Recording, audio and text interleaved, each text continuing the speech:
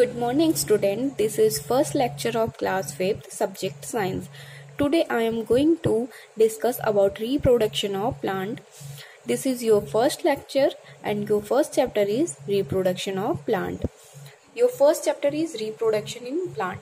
Chapter को start करने से पहले बच्चों हम क्या देख लेंगे चैप्टर के बेसिक पॉइंट्स हैं उसे हम देख लेंगे कि हमें इन चैप्टर में क्या क्या पढ़ना है तो आपको इस चैप्टर में क्या क्या पढ़ना है? मेन पॉइंट जो है, वो देख लेते हैं। Growing plants from seed dispersal of seed growing plants from spore growing plants from vegetative parts agriculture protection of crop and grains okay plant plant reproduce their own kind in many ways. Flowering plant reproduce through seed. Non flowering plants reproduce through spores. Some plants reproduce from other part of them, root, stem and leaves. Plant अपने ही जैसे पौधे को reproduce करता है in many ways कुछ plant होते हैं जो फ्लावरिंग होते हैं और कुछ non flowering plant flowering plant reproduce होते हैं सीड के through and non flowering plant reproduce होते हैं स्पोर के थ्रू और कुछ ऐसे प्लांट हैं जो रूट स्टेम एंड लीव्स के थ्रू रिप्रोड्यूस होते हैं. ओके लेकिन बच्चों, क्या आप जानते हैं कि ऐसे कौन से प्लांट हैं जो रूट स्टेम और लीव्स के थ्रू रिप्रोड्यूस होते हैं? तो चलिए मैं आपको बताती हूँ। तो रूट के थ्रू कौन से ऐसे प्लांट हैं जो रिप्रोड्यूस होते हैं? तो वो है carrot radish and sweet potato ये ऐसे प्लांट हैं जो रूट के थ्रू रिप्रोड्यूस होते हैं। अब हम बात करते हैं ऐसे प्लांट जो रिप्रोड्यूस होते हैं स्टेम के थ्रू तो स्टेम के थ्रू रिप्रोड्यूस होने वाले प्लांट हैं potato, ginger sugarcane and rose अगर आपने कभी रोज के प्लांट को लगाया होगा घर में तो आपने देखा होगा कि उसको स्टेम के थ्रू ही लगाया जाता है। अब हम बात करते हैं लीव्स के थ्रू रिप्रोड्यूस होने वाले प्लांट के बारे में। तो क्या आपको पता है कि ऐसे भी प्लांट हैं जो लीव्स के थ्रू रिप्रोड्यूस होते हैं? उस प्लांट का नाम है ब्रायोफिलम ब्रायोफिलम का जो प्लांट होता है, उसकी पत्ती के द्वारा रिप्रोड्यूस होता है। जब उसके पत्ती को क्या करते हो, आप सॉयल में दबा देते हो तो कुछ दिन बाद क्या होता है छः से दस दिन के बीच में उसके लीव्स के जो किनारे से न्यू प्लांट या बेबी प्लांट आने लगते हैं। ब्रायोफिलम कैक्टिस की तरह ही दिखता है। उसका जो लीव्स होते हैं, काफ़ी मोटे होते हैं। Next growing plants from seed When we cut open the fruit, we find seed in them. Some fruit have many seeds such as watermelon and some have only one seed such as a mango. जब आप किसी fruit को open करते हो, मान लो watermelon को आप open करते हो तो आप क्या देखते हो? उसमें बहुत सारे सीड्स आपको दिखाई देते हैं और कुछ ऐसे फ्रूट्स हैं जिनको आप ओपन करते हैं तो उनमें सिर्फ़ वन सीड दिखाई देता है। जैसे मैंगो मैंगो को जब आप देखते हो तो उसके अंदर सिर्फ़ एक ही बीज रहता है और वाटरमेलन के अंदर ढेर सारा रहता है। आपने गुआवा देखा हो उसके अंदर भी बहुत ढेर सारे सीड्स होते हैं। Part of a seed. The external covering of a seed is termed as a seed coat. It protects the seed inside. It color varies from plant to plant. The spot where the seed is attached to the fruit is known as a scare. There is a small hole on just top of the scare through which a seed absorb water.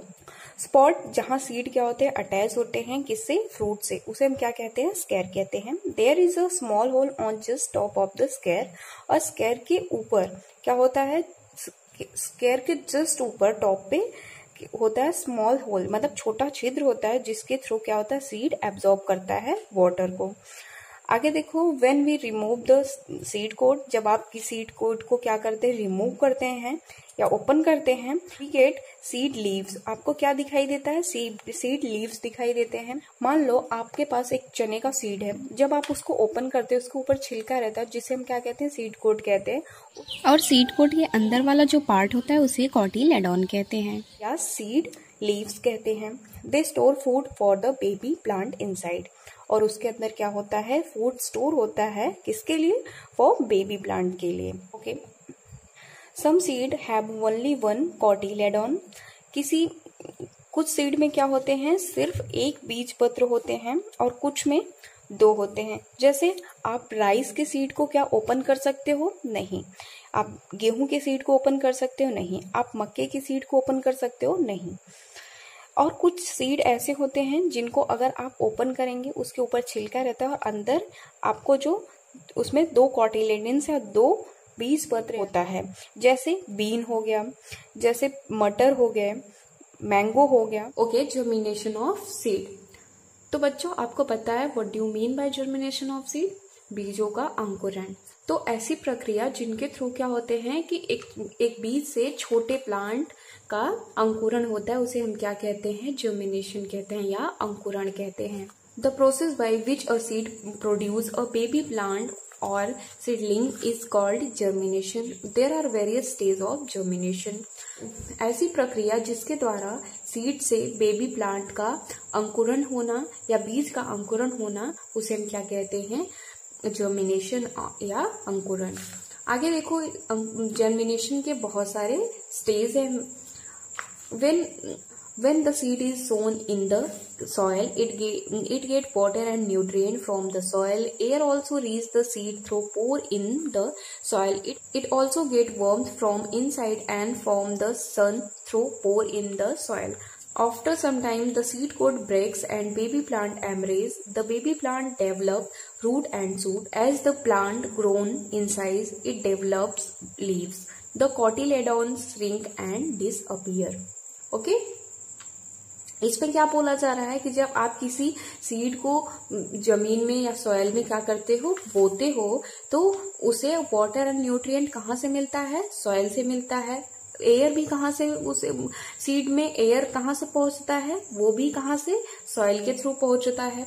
It और उसे seed में गर्माहट जो होती है उसे कहाँ से मिलती है, वो भी सॉइल से मिलती है, कहाँ से सन के थ्रू मिलता है।